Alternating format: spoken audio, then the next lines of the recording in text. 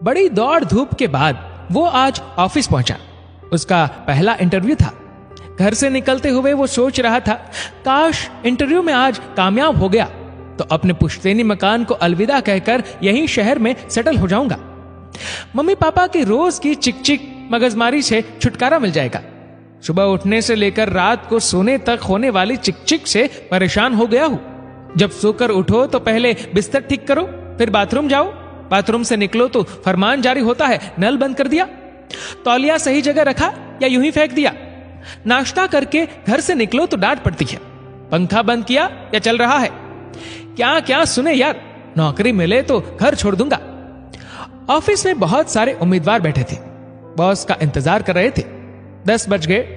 उसने देखा पैसेज की बत्ती अभी तक जल रही है। माँ याद आ गई तो बत्ती बुझा दी। ऑफ़िस के दरवाजे पर कोई नहीं था।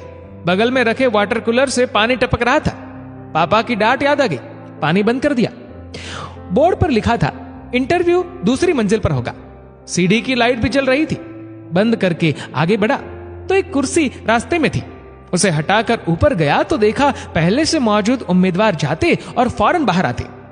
पता किया तो मालूम हुआ, बॉस फ़ाइल लेकर कुछ पूछते नहीं, वापस भेज देते हैं। मेरा नंबर आने पर मैंने फ़ाइल मैनेजर की तरफ़ बढ़ा दी। कागजात पर नज़र दौड़ाने के बाद उन्होंने कहा, कब ज्वाइन कर रहे हो? उनके सवाल से मुझे यूँ लगा जैसे मज़ाक हो। वो मेरा चेहरा देखकर कहने लगे, ये मज़ाक नहीं, हकीकत है। आज के इंटरव्यू में किसी से कुछ पूछा ही नहीं, सिर्फ़ सीसीटीवी में सबका बर्ताव देखा। सब आए, लेकिन किसी ने नल या लाइट बंद नहीं किया। धन्य है तुम्हारे माँ बाप, जिन्होंने तुम्हारी इतनी अच्छी परवरिश की और अच्छे संस्कार दिए। जिस इंसान के पास सेल्फ डिसिप्लिन नहीं हो, वो चाहे कितना भी होशियार और चालाक हो मैनेजमेंट और ज़िंदगी की दौड़ धूप में कामयाब नहीं हो सकता। घर पहुंचकर मम्मी पापा को गले लगाया और उनसे माफ़ी मांगकर उनका शुक्रिया अदा किया।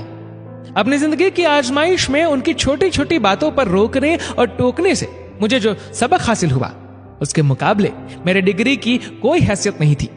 और पता चला, ज़िंदगी के मुकाबले में सिर्फ़ पढ़ाई लिखाई ही नहीं तहजीब और संस्कार का भी अपना मकाम है। संसार में जीने के लिए संस्कार ज़रूरी है। संस्कार के लिए माँ बाप का सम्मान ज़रूरी है। ज़िंदगी रहे ना रहे, जीवित रहने का स्वाभिमान ज़रूरी है। ये कहानी आपको अच्छी लगे तो अपने दोस्तों और रिश्तेदार